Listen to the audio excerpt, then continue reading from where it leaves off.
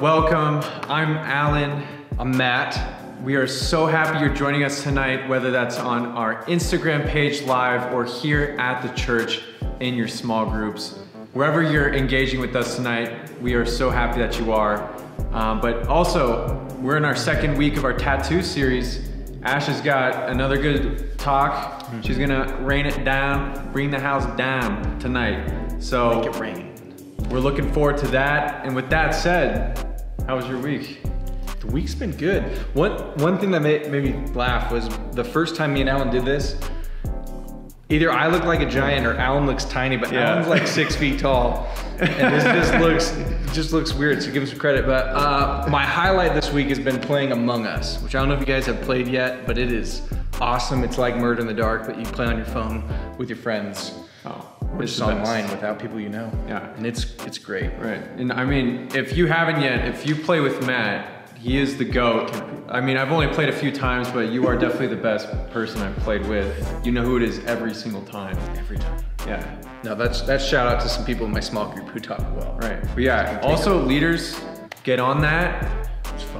Kiddos, you know, show who's boss. So awesome game. Yeah. Well, again, we're glad you guys are with us. Keep those masks on. If you're joining us online or in person, we're excited. It should be a fun night. We'll see you guys later. All right, everyone. Welcome to tonight's game. I'm Matt, And I'm Ash. and uh, we got like 10 gallons of water above us right now, which is great. You might wonder why. Because you did take a shower today. Because I did. I did take a shower. You never know with quarantine. But um, here's what we're gonna do. We're gonna be doing a spelling bee, seeing which of us is the better speller, because the worst one gets for sure the whole bucket dumped. At least once. Yep. So what you're gonna be doing is our game host Alan is gonna be giving us a word to spell.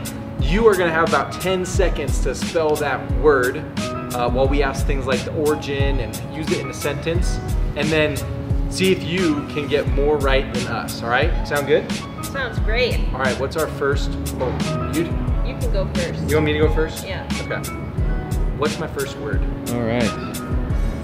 Matt, for round one, your first word is apparent. Matt has a parent. Is that No, how you it is apparent that there is a bucket of water over your head. And what's the origin? Your parent. So helpful. Um, okay. A P P A R E N T. Apparent. parent. That is correct. Congratulations. Lucky You live to see another dry day. for now. Ash, your word is publicly. Right. Can you use that in a sentence? I don't only strut my stuff privately, I walk with swagger publicly. Oh. That You just me- made it up on the spot That makes too. me feel like I have so much greater understanding of how to spell this. Publicly, yeah. P U B L I C A L L Y. That is incorrect. Public Cali. Yeah. It is P U B L I C L Y. Oh. You have to uh, loosen the hand length. Yeah. I'm just trying. Oh, ho, ho, ho. it's just it's still it's going. All right, what's my word? Your word for round two is beautiful. Beautiful. That one feels so easy to me. There's so many vowels in a row. No. This is a word I have a hard time with. I'll be honest. I know it starts with a B. That is correct. E. A. U. T I F U L. Matt, that is correct. Congratulations. Ash is regretting doing this more and more. On to Ash. Yep. Your word for the second round, and the big word here, very prevalent, is tattoo. Oh. Oh, I thought it was gonna be prevalent for a second. I I, thought was it was like, gonna be good luck. Presbyterian. Um, tattoo.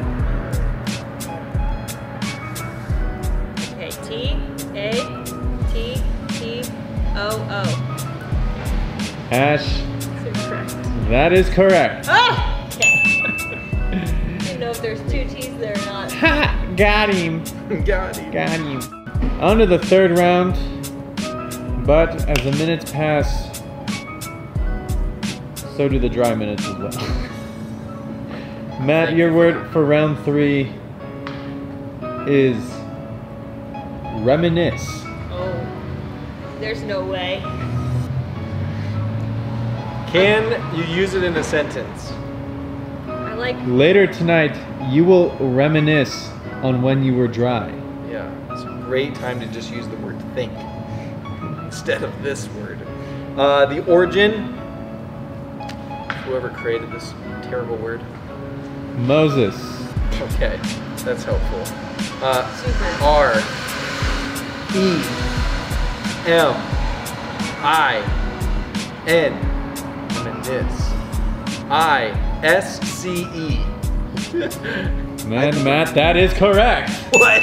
Congratulations. I knew Congratulations. there was something funky about it, but You can see Ash's hand tremble around the rope. That is another big word. I can't believe you just got that right. Your word You can't for even like spell my name, but go ahead. your word for round three is ferocious. Oh yes, like the ferocious dog that I have. That's a golden doodle. That Darnold Baxter. Donald Baxter. Hmm, ferocious. F U R. F E R I ain't gonna know. O S C I O U S. That is incorrect. Don't let go of the whole thing because I don't want to fall. All right. As we proceed around four, the stakes are higher, as these buckets are also higher. So it doesn't fall. We're gonna do a quick adjust while y'all are. What's my? And we're back to round four, where the stakes are high, as these buckets of water also hang high over heads. Matt, your word for round four is pharaoh. You're like a feral cat. No, is it feral or Pharaoh, as in a But like pharaoh Egyptian? of Like a Egypt. feral cat. P H A R O A H. Matt, that is incorrect. Oh, You had the A and the O swapped. It is R A I O don't want to do this. Oh! Oh! Oh! oh so cold. It's so cold. Why did I just get so wet? In my face. Okay, It's so hard to hold. We're back. Round four. Hose water. I think we're on like round five, Yeah. but it's okay. Ash, your word for this round is propaganda. Okay. Propaganda, like the uh, so artist. much more. Propaganda. Sure. My Just trying to give it- propaganda is now wet. P R O P A G A N D A. Ash, that is correct. Woohoo! Congratulations. Thank you. Hey, Bus. The public transit system of Boulder congratulates you. So much for me. Yeah. All right, on to round five. Great. Where we So great. shiver at the fear of the word. Yeah, it's nice. It's semi-warm. Matt, your word for this round is accommodate. Hmm. Can you accommodate how cold I am by pouring it up? I'm letting the people spell because I'm obviously going to get it right. I know. A C C O M A D A T E. Matt, that is incorrect. There are two M's in accommodate. Oh, all right. I was down here. Now I gotta. There's nothing better than a nice cold shower. Oh, it's bouncing. That's bad. A little more. Something just, I mean, it's it's loose. Well, mine decided it needed to be too.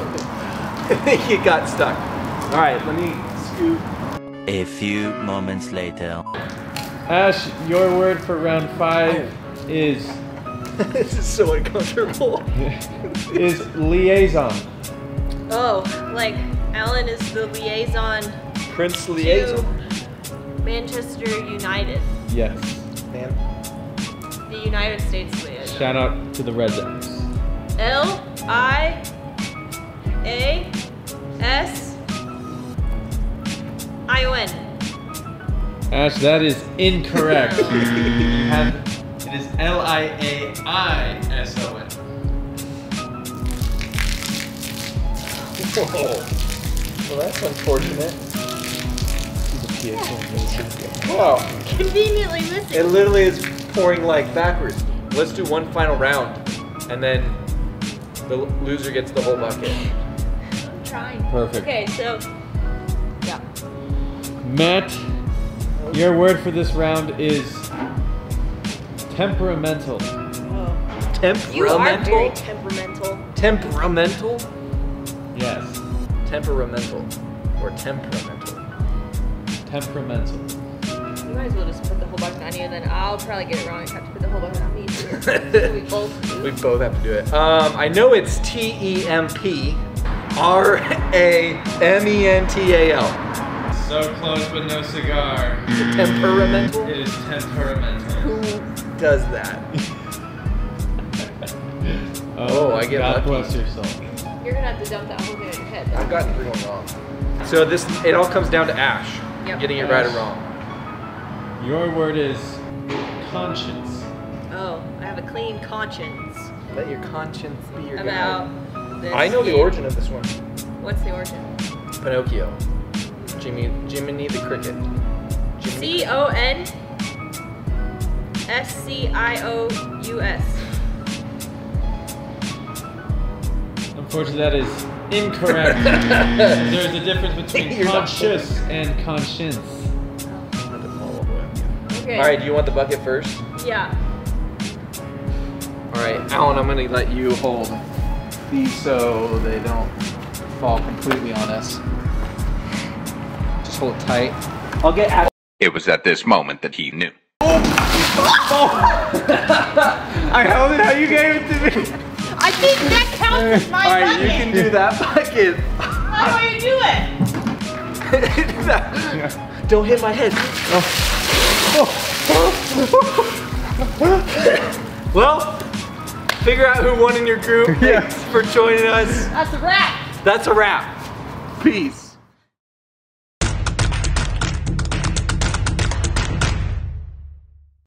We got some fun announcements for you guys. First off, being our overnight event is October 2nd. Uh, you're gonna wanna be there. It's gonna be a lot of fun. Um, it's gonna be the place to be on October 2nd. So keep an eye out for details on Instagram. Also, if you're a senior out there, October 23rd, 24th is our senior event called Odos. More details and registration to be released if it hasn't already, um, but that is an event that you want to be at. Um, and then lastly, um, next Wednesday, we'll be right back here uh, at 7 or online at 7.30. And I think today is National Checkers Day. So enjoy that fun fact. Uh, and with that, adios.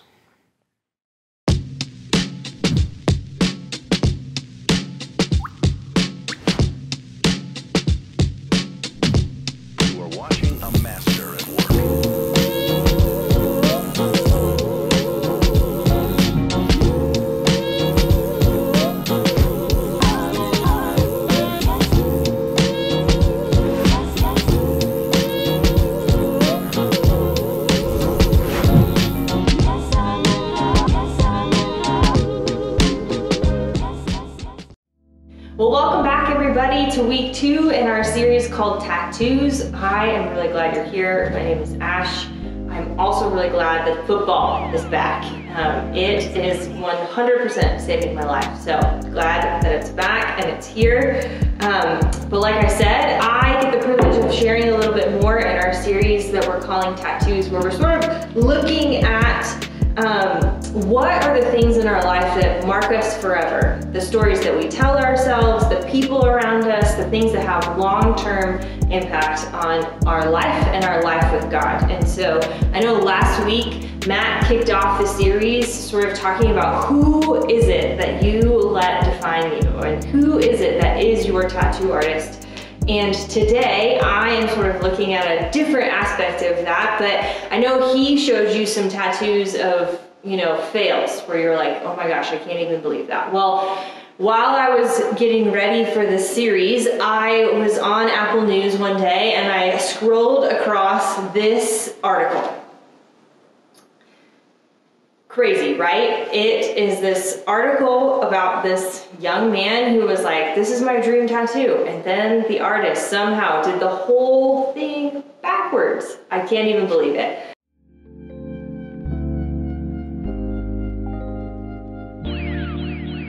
That's a good one.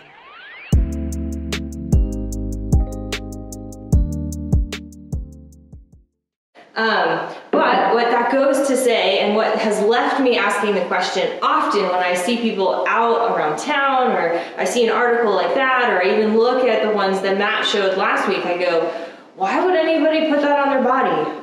And then secondly, why wouldn't they get that removed? Like, why isn't that young man figuring out, like, how do I get this thing removed, or how do I edit it? And I think there's probably three things that come to my mind about why people don't get tattoos removed. One, they like it. I was recently having a conversation with a, a young adult, and she was telling me about her next tattoo. She's like, I'm getting an astronaut on my arm. And I was like, why? And she was like, because I want it. And I was like, okay. Um, so I think one reason people keep their tattoos that you and I might be asking why would they do that is they like it. Secondly, it's too expensive or too painful to get it removed. Certainly, getting a tattoo is like a neat feeling to some of us, um, but also it's painful. And the rumor on the street is when you get it removed, it's even more painful. So, why pay the money? Why go through the pain? Just keep it on your body. And then, lastly, I think the other thing that people often do is they decide to cover it up. They try to hide it with something more beautiful. So they add to it, or they turn an astronaut into a flower, or they turn my face on their arm into a cross. I don't know how the artists do it, but like they do it. So, um, all that to say, they sort of come up with some excuses as to what it is that they are going to do to fix this tattoo, or they just go, I like it and I don't want to get it removed. Um, and I want to look more closely at those three excuses that I just talked about. But before I do that, I want us to pick up in a different story in Scripture. Um, where I think we can learn a little bit about what God wants for our life, as well as this man who had the opportunity to have something removed or taken away from what defined him and how he handled that situation. So, um, if you have a Bible, turn to John chapter 5. If you don't, that's cool too. Uh, I'm going to read it to us. Um, this comes from John, which is just a fancy word for one of Jesus's life stories. So it says, Sometime later, Jesus went up to Jerusalem for one of the Jewish festivals. Now there is in Jerusalem near the sheep gate a pool, which in Aramaic is called Bethesda, and which is surrounded by five covered colonnades. Here, a great number of disabled people used to lie the blind, the lame, the paralyzed. One who was there had been invalid for 38 years. And when Jesus saw him lying there and had learned that he had, had been in this condition for a long time, he asked him, Do you want to get well? Sir, the invalid replied, I have no one to help me into the pool when the water is stirred. While I'm trying to get in, someone else goes in ahead of me. And then Jesus said to him, Get up, pick up your mat, and walk. And at once the, mat, the man was cured. He picked up his mat and walked. And so, long story short, this man is sitting at this pool, sort of like underneath an alcove or in an alcove. And it's really this pool where bunch, a bunch of people who are disabled or have some sort of ailment um, sit. And when the pool stirs, they all sort of try and race in. And it's the first person that typically gets in gets healed. And so this man has sat there every day for 38 years, which is a very long time, my friends. So every day he'd, he'd get put into his position on the side of the pool, and my guess is he was comfortable. He had learned how to manage his surroundings, he knew what to expect. But somehow there was no way for him to get into the pool. But he was still holding out hope or some version of hope of if I get into this pool, this will get fixed.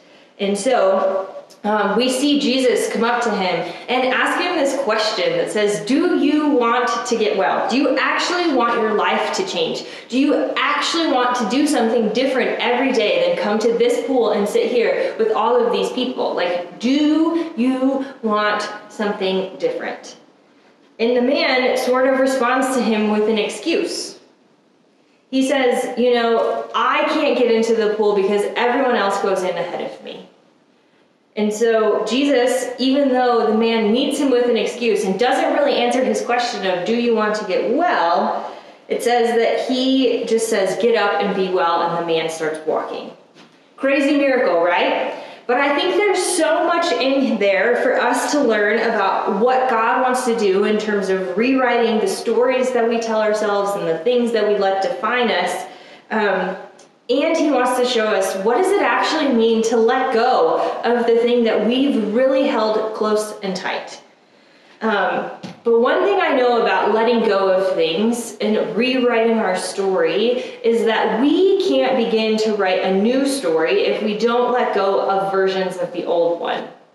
So right now in my life, my closet and my dresser drawers are driving me crazy. So like I am so ready just to like throw every t-shirt I own out of the window and just go, I'm gonna have like three t-shirts. I'm sure I will regret this decision at a different point in my life. But what's been happening in COVID land is I get a new t-shirt and I put it in my drawer and that doesn't mean that I take another one out. Anybody else have this problem? So all of a sudden, I now have acquired new t-shirts and haven't cleaned any of the old ones out. Some of you who are still growing, you go, I don't even know what this is like because I just have clothes that are too small in my in my um, dresser drawer. Whereas for those of us who have like sort of studied out somewhere, we just keep acquiring things and we don't get rid of things. And now our dresser is like stock full of shirts and you can't ever find the one that you want. It drives me mad. But this is this great picture of if we keep adding new things to who we are and to our identity and to our soul and we don't clean out the old things, there's no room for it. So some of it is how do we remove that tattoo or how do we remove that story that we've been telling ourselves so that maybe God could start to tell us a new one. And last week, Matt talked about a lot of things that you may be defining yourself with, or you orient your life around these things, and they are important to you. They tell you who you are, they tell you what you're good at, they tell you who you're not, they tell you all of these stories that you have running in your head. He talked about things like school, he talked about things like sports, your parents, your friends, the people that you date, or the people that you don't date um, how popular you are, social media, money, all of these things feed into who you are. They tell you a story. And what you probably heard last week was they don't always tell you a great story. Sometimes they do, sometimes they don't. But what we've often found is at the end of all of these things, there's not a lot of life. There's not a lot of fun and joy. There's often just, just turmoil and loss and grief. Um, and so I want to look at today how do we let go of the stock that we've put into those places, into school and sports and parents and boyfriends and girlfriends? How do we let the man, like that man, let Jesus begin to define a new way? A new way of living, a new way of life. How do we begin to let go of things? Um, and what I know about that man at the pool is I presume that he hated his life at that pool, but he also kept going back. I just am curious if you have things in your life that on the outside and on the inside you go, I kind of hate that I'm about this. I kind of hate that this is so important to me. I kind of hate that these people are my friends and they define me, or I don't feel cool if I'm not with them. I kind of hate that. However, you keep showing up You keep playing the sport, you keep being friends with the person, you keep dating that person. And so you find yourself in this tension of, I don't really like this, but I don't know how to be apart from it because I don't know who I am.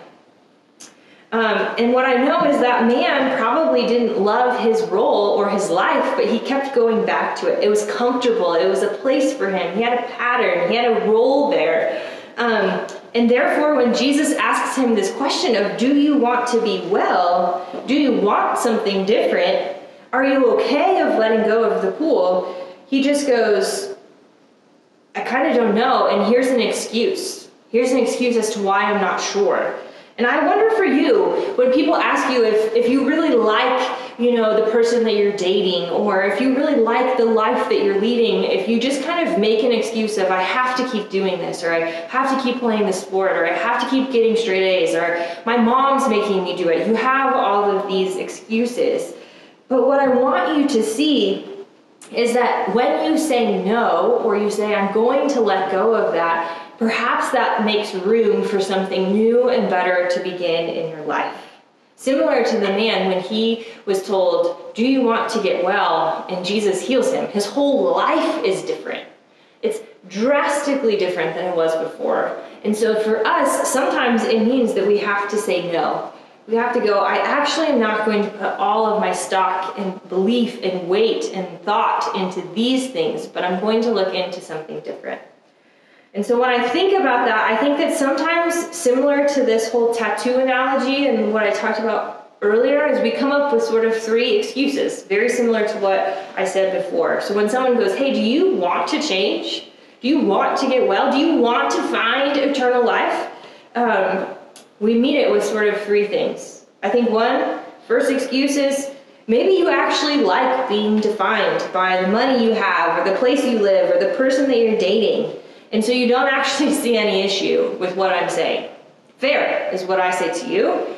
Uh, one question I like to ask people who go, I actually don't see any reason or any wrong thing with putting all of my like stock in being the popular kid or the rich kid or the really good athlete. Um, my question to you is what happens when you tear your ACL? Or what happens when your family has to move? Or what happens when you no longer live with your parents and you don't have the money that they had? Or what happens when that person stops dating you suddenly? Like, what happens to your soul and your heart and your mind? Often I find that it feels like the bottom of the floor has just dropped out from underneath us. And so maybe it's worth looking at of while there might not be something wrong with it, maybe long term is not our best solution. I think my second excuse that I see or that I too do is that maybe it's just too painful. It's too painful to let some of those things go. I mean, at first glance, if you let go of like who some of your friends are that aren't healthy or breathing life into you, it could be social suicide. Um, if you let go of you know being the straight A student or the athlete that is incredible, then maybe you let go of some dream of playing in the NFL or going to college uh, at this specific place. Like if you start to let go of some of those things and you go, they're not the most important thing. It's a good thing, but it's not the most important thing. Then maybe some of those things start to feel like they're not going to be possible. So the painfulness of letting go of these things that we've let define us can often stop us in our tracks and we go, I just don't want to do it. But here's the interesting thing about pain is that often the thing that we are trying to avoid doing or letting go of so that we don't have to feel the pain, we already feel it. So like you might feel like if I break up with that boyfriend or that girlfriend or I let go of this friendship or relationship, it will be so painful. But my question to you is is it already painful? Is it already broken? Is it already too much for you to handle? Maybe it's not, but sometimes I think when we go looking for a way to avoid pain, we're already in pain. Lastly, I think the thing that we do um, when we're offered an opportunity to let go of something that is defining us that isn't awesome is that um, we pretend, we hide, we cover it up.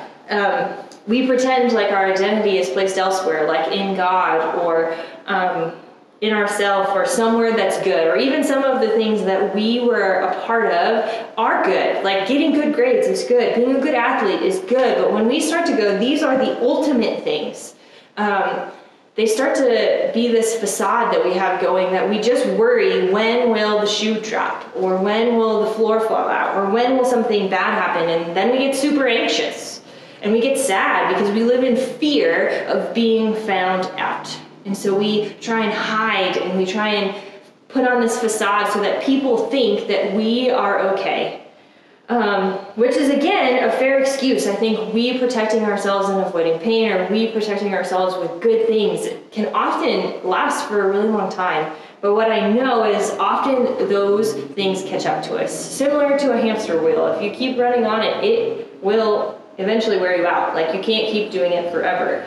Um, so, three things, like I just said. One, you actually like the life you lead, and that's fair. Two, um, and maybe it's too painful to say no or to let go. Or three, um, you're living a great facade. You have this pretend identity that you are keeping up, and it's working pretty well. Um, but I think the invitation from Jesus to that man at the pool was not to keep both, to not keep both lives at play, but to say you can either have your pool reputation or you can be the man who was healed and living and walking.